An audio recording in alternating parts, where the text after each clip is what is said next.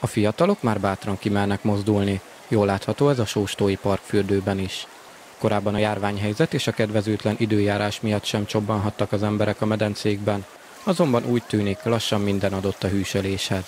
A Sóstó Gyógyfürdők ZRT hét elejétől indította el teljes körű strandszolgáltatásait, a vendégek száma pedig azóta egyre csak nő, még ha egyelőre az egy évvel ezelőtti adatokhoz képest van is elmaradás ahogy az időjárás javul, ahogy az emberek egyre inkább ugye, bizalommal lesznek majd a közösségi terek irányában, úgy fog majd a vendégszámunk is változni. Most bíztató az, hogy előre láthatom már 30 fok körüli hőmérsékletek lesznek egész júliusban. Ez mindenképpen egy nagyon-nagyon nagy pozitívum számunkra, és bízunk benne, hogy ez a vendég szám emelkedésével is fog járni. Lásd az elmúlt hétvég, amikor azért már 30 fokon túl volt a hőmérséklet, ez azért már megmutatkozott itt a parfürdő vendégszámában is, de azt azért el kell mondani, mondanom, hogy ez még nem az a vendégszám volt, amit már egy ilyen kánikulai napon júliusban megszoktunk.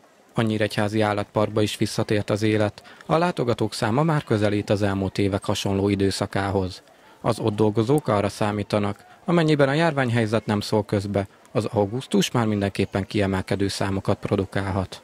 Gajdos László igazgató kérdésünkre elmondta, ha az időjárási körülmények engedték, a magyar vendégek már hetek óta ellepték az állatkert területét, azonban szépen lassan a külföldi vendégek is megérkeztek. Az a helyzet, hogy eddig főleg a magyar vendégekre számíthattunk, de most körülbelül egy hete megjelentek a szlovák vendégek, a román vendégek, mint régen, hisz itt Sóstól nagyon sok szlovák vendég fordult meg. Úgy gondolom, hogy most már ők is kezdenek jönni, viszont rengeteg magyar vendég jön, úgyhogy most már hétköznapok is nagyon nagy létszámmal zajlanak itt az állatparkban.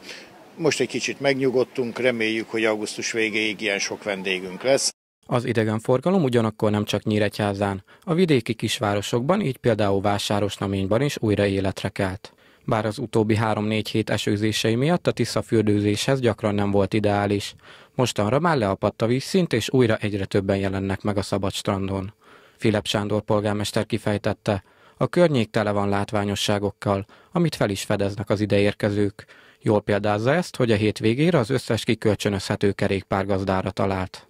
A városnéban nem csak a Tisza part az, amely tártkarokkal várja az ideérkezőket, hanem a kerékpáros és a, a vízitáboros, a vízivándorok is e, folyamatosan jönnek hozzánk, ugyanakkor azt is tudjuk, hogy a középkorú templomok útja innen nagyszerűen megközelíthető, ugyanakkor a vadászati turizmusunk is adott, tehát aki esetlegesen a rossz idő miatt valahová beszorulna, különböző látványosságokat találhat, mondok itt a Tomcsányi kastélyra, a vadászati kiállításra, bejárhatja a Bereget, elmehet Tarpára, Csarodára, de ha visszakanyarodunk a kisvárosunkba, akkor nekünk van egy Atlantika vízividámparkunk, van egy Szilva wellness és termálfürdőnk, illetve van egy Movie Planetünk, amelyben a kisgyermekek, az apróságok is megtalálják számításaikat, és ha esetlegesen nem süt hétágra a nap, akkor is ki tudnak kapcsolódni, fel tudnak töltődni, hiszen a mozis tematika mindenképpen vonzza a kisgyermekeket is.